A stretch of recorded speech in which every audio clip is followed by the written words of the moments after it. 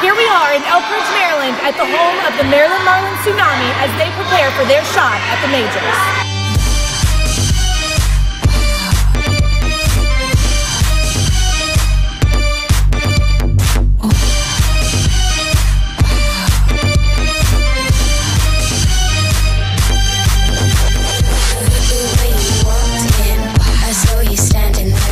I just want to say good luck to everybody because I think everybody, it's going to be a tough, it's going to be tough trying to win that prize to Europe and that trip to Europe with a whole bunch of your teammates. You know, it's all going to be working together and working hard and I just, I wish the best of luck to everybody because I know everybody's going to be fighting for it.